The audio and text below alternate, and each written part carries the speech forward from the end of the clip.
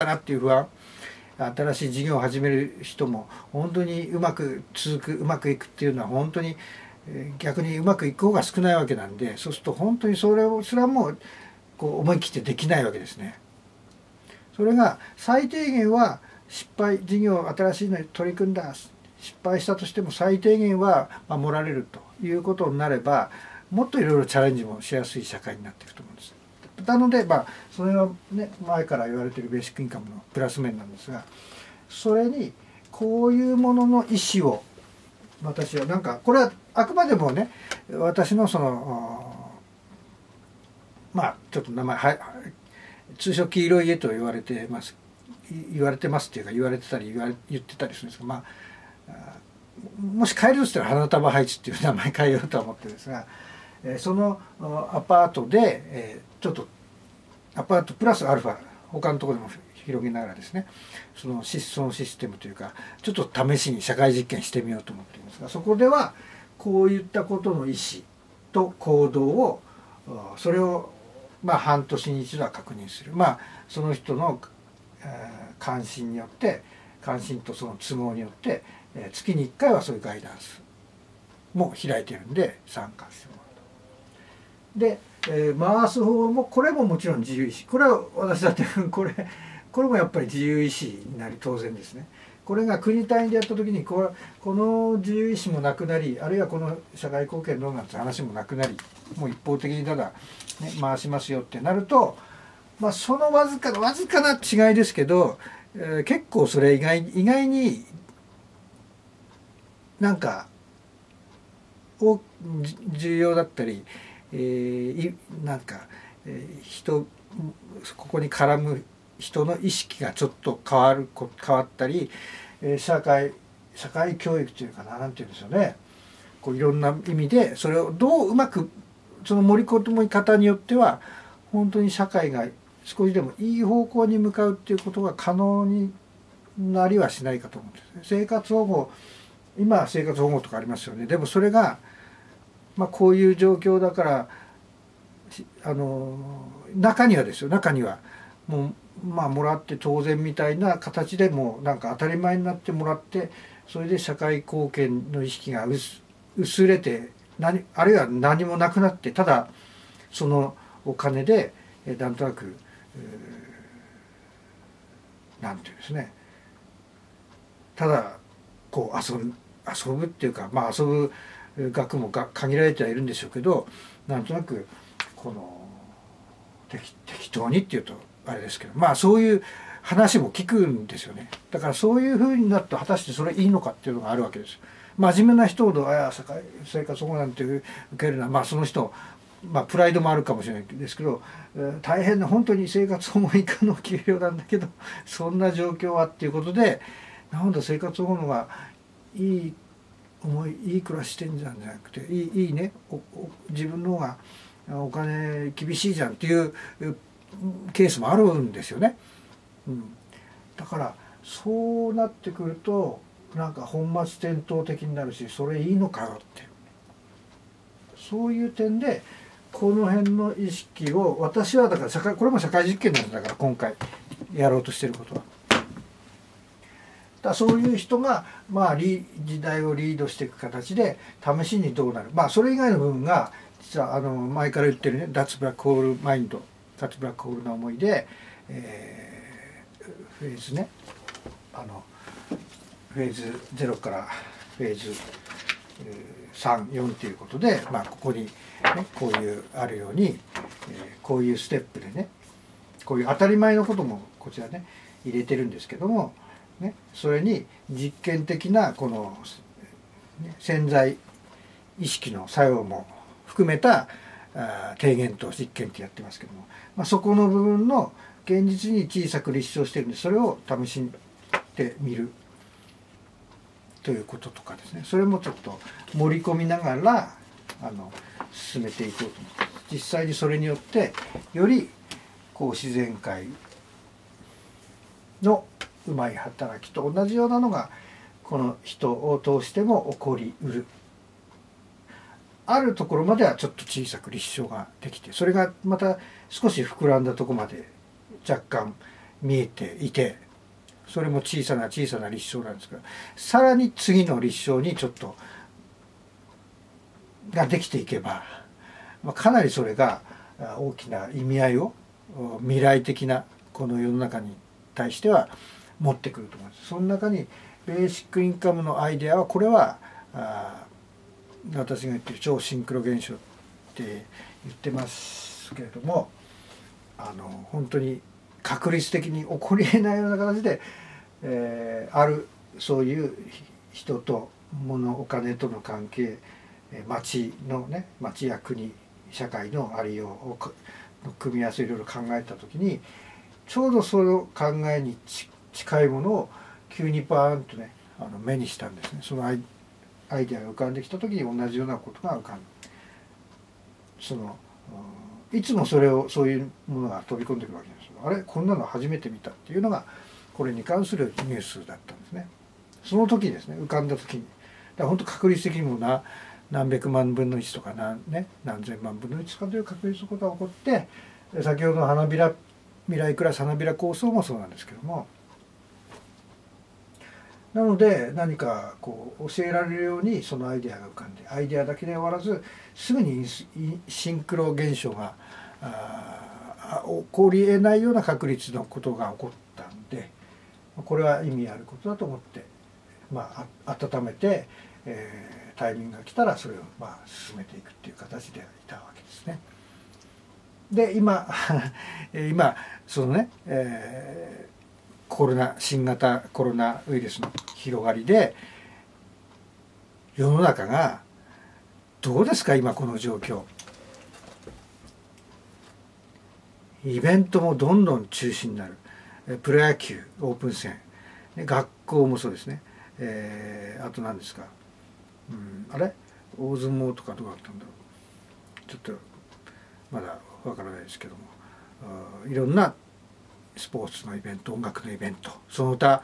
娯楽娯楽というのかないろんなイベントとかで今回ねその学校ですよね小中高。ででも会社に勤めて満員電車に乗っている人もいるわけですよ。じゃあそういう人たちどうなんの？またそれで、えー、まま回していたお金がどっとねやっぱたくさんの人が集まるイベントっていうのはそこで大きくお金を回すっていうのをそういう見込みがあって、えー、ね、事業とかねあの回してる経済を回しているそこに大きく関与している人たちがいたりね、えー、人個人法人ねいあのいるわけですよね。それが特定の一社だけがどうのじゃなくて社会全体にずわーっと広がろうとしてるわけですよ。もちろん日本だけじゃないですがあまして東京オリンピックも近い。それがどうなるかもわからない。でもっともっと広がったらプロ野球オープン戦だけじゃなくて、えー、ねえー、公式戦にまでなっていくでしょうしっていう可能性もあるわけですし学校だってねじゃあどうなるのこのままじゃ収束す 収束すればいいですけどもね。その経済が回るかどうかってすんごい重要なもの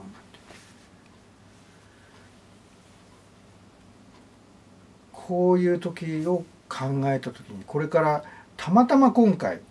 こっただけでもうあと何十年何百年あるいはな、まあ、何百年とは言わないまでも何十年とそんなことはないんだよと。いう話なのかいくらでもありえる話だとかのか、ね、AI によって2016年ベーシックインカムがワンステップその可能性が高まった。2020年去年は一旦そのなんていうかベーシックインカムの声は私が見る限り少し下がった気がする下がったっていうのはまあ現実的に、えー、すぐにはいかないねっていう判断が割と少し、えー、まだちょっとねっていうところで少し議論が次の何か議論になるこうこうこうだねっていうところまでいかなかったところがあると思うんですね。で今回私はこう今のこういう、まあ、緊急的なことによることなのかもしれないですけどこの今の状況でじゃあお金をこういう状況をじゃあお金じゃ本当にこのウイルスのせいせいでっていうことなんですけどそれによって、えー、もう経済から何か本当にガーンともうどうしようもなくなっちゃったって人たくさん現れると思うんですよ。さあそれどうやって救済するんですか？今までのルールではた、ね、それでそれに、えー、対応しようがないとしたらまあそういう娯楽にお金を使わないってことはみんなまあ自分のところに貯めた状態なんでしょうけど回らないと、えー、貯め貯めるものにも通常最小限回してる人も回しにくくなったり回りにくくなったりもう結構大変な人がどんどん大変になりますね。余裕のない人ほどどんどん厳しくなるんじゃないですか。たんまり貯金があるとか。あそういう人は別ねあのまあだからといって生活がね急にもうどうしようもなくなるってことはないでしょうけど自転車操業的にギリギリのところでやってるような人仕事が今日から1ヶ月仕事ないですその代わり給料も出せませんなんて言われた日にはまあ大変ですよね。この状況をクリアするのは本当どうしたらいいのかって話ですよ。まあベーシックインカムとは言わないまでも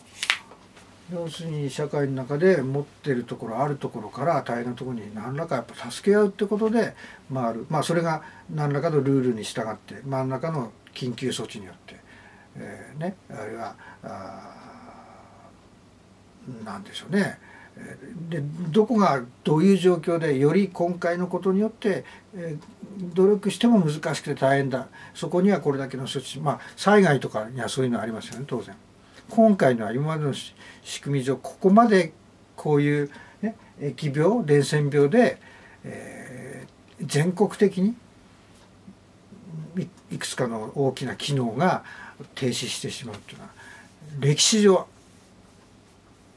なかったんじゃないでしょうかね。これの救済措置さあどうするんですか。まあ阪神ああの東北東日本大震災とかまあそれ以降の震災やね災害台風の被害とかいろいろありまして甚大、えー、災害の、まあ、それすらも結構大変は大変ですよね。そうなってくると持ってる層からもできるだけやっぱりそこそういう大変なところにこうシフトしていくっていうような仕組みが必要なんじゃないですか。これの行き着いたところはきっとベーシックインカムなのかもしれないですよね。最低限はそれ生活ね生きていくところを守らないとっていう話ですよねこれは。自己責任つって働かないからいや働くつってもそれがなかなか頑張ってんだけど大変だよっていう人もいるわけですよね。まして AI によって、えー、そういう技術や資本を持ってる人はが、ね、すごく、ま、自分のとこにね回していくことができたとしてもその分どんどんどんどん一人一人には ね、えー、そのやれることが減っていくためにみんな機械に置いてあの置き換わられちゃうために仕事が減ってしまうそういう人はどうしたらいいんですかって話になるだからこそ逆にこういったものが浮上してきたと。で結構いいことたくさんあるんですよね。ただ反対もちろんあるでしょう。まあるいは反対意見の中には働くな働かなくなるんじゃないかとかですね。ただ以前の昔のその社会主義、えー、体制のそのシステムとはまた違うのでその最低限のを配るでそれ以外の活動も経済活動というかそういったこともできるわけですね。だからまた違う。まあその辺の議論は今までも時々ですね、えー、されてきて、えー、具体的な案をその専門家が持っていたりあるいは政党が政策として持っていたりある中でただあまりに そのなんていうんですかドラスティックにね、えー、変わるものでもあるので なかなか簡単にというにはいかないまあそれがこの内容にはそれをだ、ね、順序ってあのやってねあんまり混乱が起きないリスクも最小限少しずつ浸透させていく方法もあるってことを私は知りました。まあ、まあこれを見る限りではあ可能だなと。まああ、えー、元あ元元というかあるねああの渡辺義美さんというねあの、えー、まあ有名なあの議員の方は、えー、再入庁何だったかな、まあ、何かそのステップがあってまず、ね、何かを一本化してどうのこうのって言われてたのを言われてもいますね。だから、えー、道筋をある程度具体的に持っているそういう政策まあ政治家も含め政策担当者あるいは政策そういう政策のなんでしょうね。専門の人もいると思うんです。で私は割とちょっと興味持ってベーシックインカムとかこの45年ですね。あのいろいろですね意見をき見たり読んだりまあそういう書籍を見たりとかまあいろんな見てきたんですけども。まあ今私が言ったこのね、えー、こういう社会貢献的な意識のある人まあその辺を確認してとかお金を負担する側のも自由意志でとかね、まあ、これが本当に えー、それに、えー、なんだろう。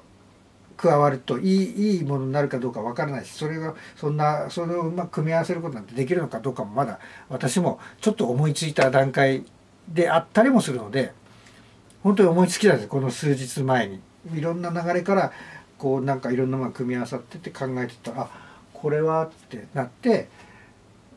あミニベーシックインまあベーシックインカムというかミニミニベーシックインカムのなんかモモデルみたいになったら面白いななんて思いながらちょっと考えた中で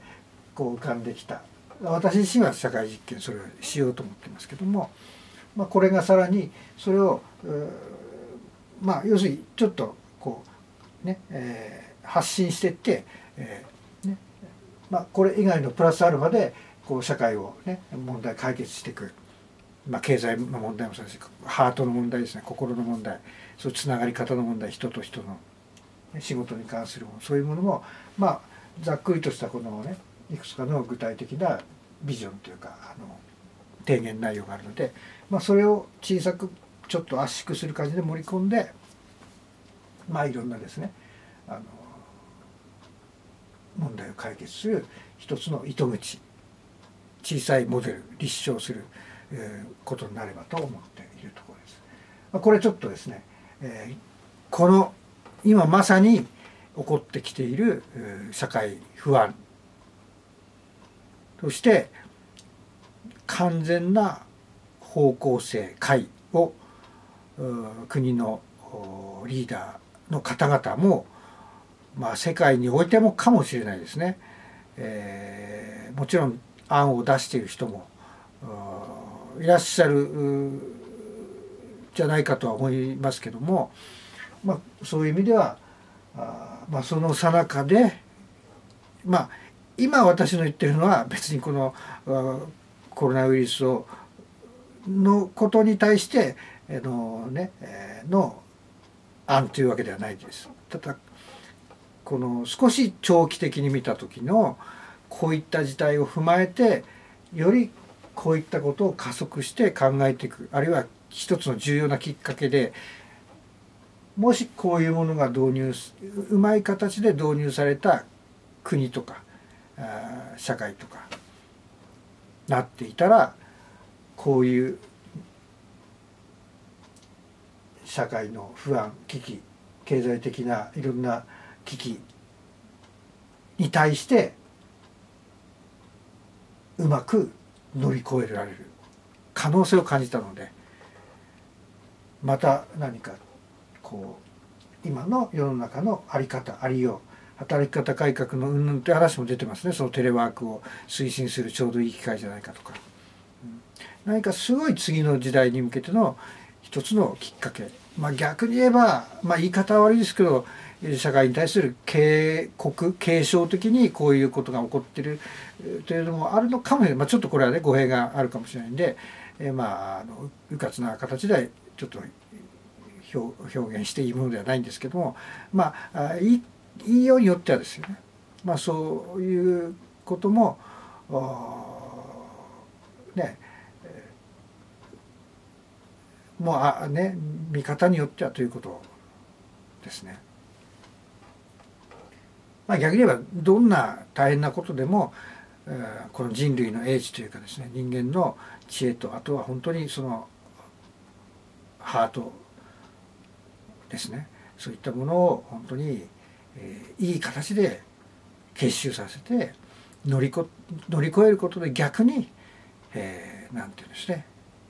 より素晴らしい社会を築く。きっかけにしたらいいんじゃないかと思います。本当に今この病,、ね、病気にかかってしまったりとかですねそれで命を落とされた方もいらっしゃる、まあ、その不安の中で、まあ、もちろん私もその、ね、いつどうなるかはもちろんね外で歩いていったらわからないわけだしこの先ねどれぐらい広がるかもわからないしだから本当にそれはね、えー、簡単な形で。えー、ものを言うことも本当できないんですけどそういった人たちは本当に、えー、不安もまたいろんなものも最小限になることを本当に近いあの願いながらあまあ今回ちょっと浮かんできたことをちょっと話させていただきました。どうもありがとうございました。